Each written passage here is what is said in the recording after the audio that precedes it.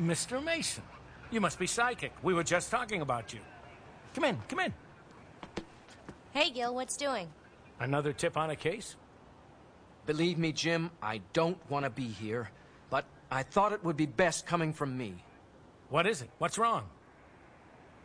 James Gordon, I have a warrant for your arrest. this is a joke, right? On what charges? Accepting bribes. You can't be serious. The department has reason to believe that you've been taking money from Rupert Thorne for years. What? Dad's never taken a bribe in his life. I'm sorry, Barb. You have the right to remain silent. If you give up that right, anything you say... I know my rights, Gil.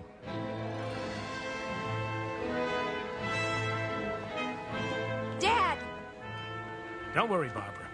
It's all a mistake. You'll see. Commissioner, do you have a statement? What about this? I'm sorry, Barbara. I really am. Commissioner Gordon, Commissioner just a statement, sir. What about these corruption charges against you, sir? Is there anything you have to say?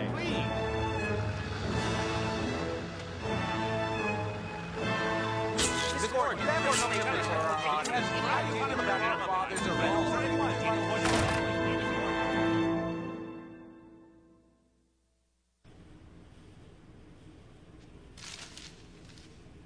We'll see about this.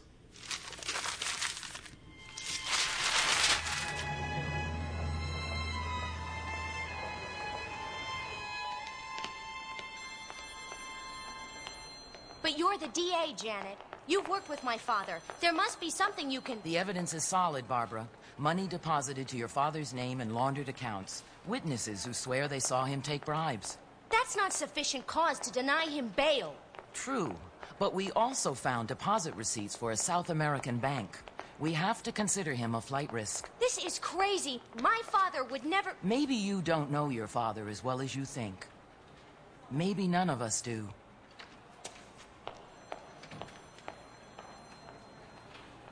Don't you believe it, kid?